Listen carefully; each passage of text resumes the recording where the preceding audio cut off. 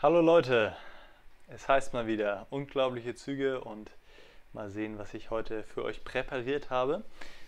Eine Partie, die gar nicht so lange her ist, nämlich zwischen Sergei Tiviakov und Ernst Siebke, gespielt in Weikansi 2012.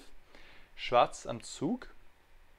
Und wir haben eine relativ normale Stellung auf dem Brett, jedenfalls verglichen mit was wir sonst so zu sehen bekommen in dieser Serie. Ja, ähm, ich würde sagen, ich will jetzt gar nicht zu viel verraten. Gut, ich kann sagen, es, ist, es geht ums Thema Prophylaxe. Prophylaxe, also ähm, die gegnerischen Ideen erkennen und verhindern. Und dann würde ich sagen, ihr seid dran, versucht es rauszubekommen, schwarz am Zug, wie gesagt.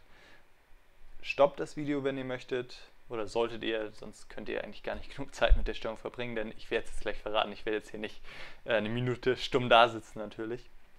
Also stoppt das Video und dann werde ich es jetzt verraten.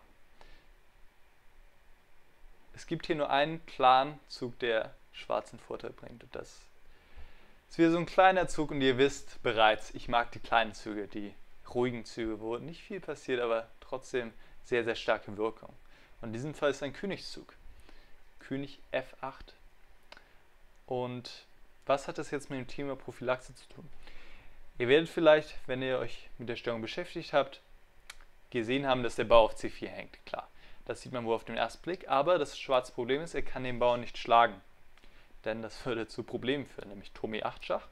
Turm ist an der Deckung gebunden. Ähm, das heißt, Schwarz würde hier die Dame verlieren und hier ist auch kein Matt, weil der Springer das Feld überdeckt. Und Schwarz sollte auf E8 schlagen, denn wenn er nach, wenn er Springer F8 den Springer dazwischen zieht, kommt es hier noch Ärger von, für ihn, denn jetzt folgt hier das Matt auf H7. Ja, und das ist genau das Problem für Schwarz. Und mit König F8 verhindert er es jetzt wunderbar prophylaktisch und nimmt auch generell irgendwelche Grundreihen, Matt-Ideen aus der Partie. Und jetzt hängt der Bau auf C4 und ähm, Weiß muss sich mit der Deckung dieses Bauern beschäftigen. Gut, Weiß spielte Läufer A2. Ich überlege gerade, was würde hier nach Turm E4 passieren. Ja, dann würde sich diese Diagonale öffnen. Nach Dame C1 würde, äh, nach, genau, nach Turm E1 würde wieder der Bau auf C4 hängen und nach Springer E1, ja, jetzt kommt natürlich hier auch noch der andere Springer mit Tempo und der Bau auf C4 wird nicht zu halten sein und dann sind die ganzen Bauern hier schwach ähm, am Darmflügel und Weiß steht auf Verlust. Also Läufer A2, aber auch jetzt Springer E5 und jetzt beging schon Weiß hier den entscheidenden Fehler tatsächlich. Er muss hier auf E5 schlagen und dann Läufer schlägt E5 G3, Dame F2 und nun Dame E2.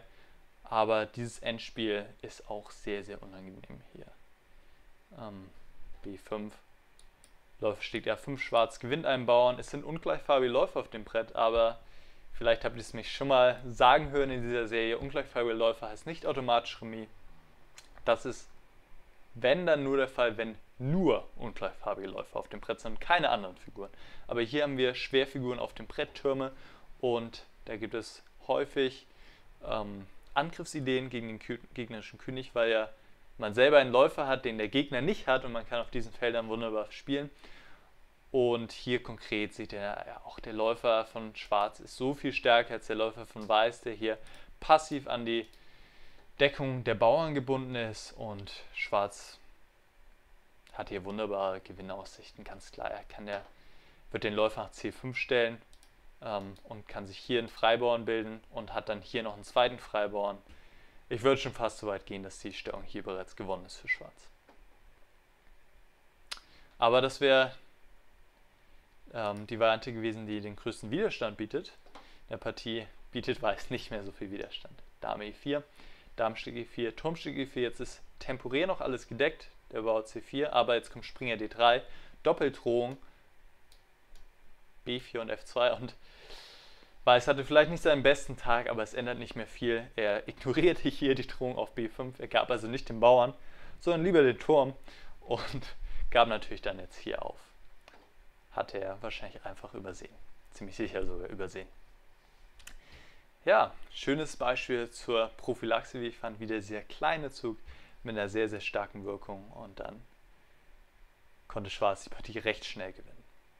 So viel zu diesem Beispiel. Wir sehen uns bald wieder. Bis dann.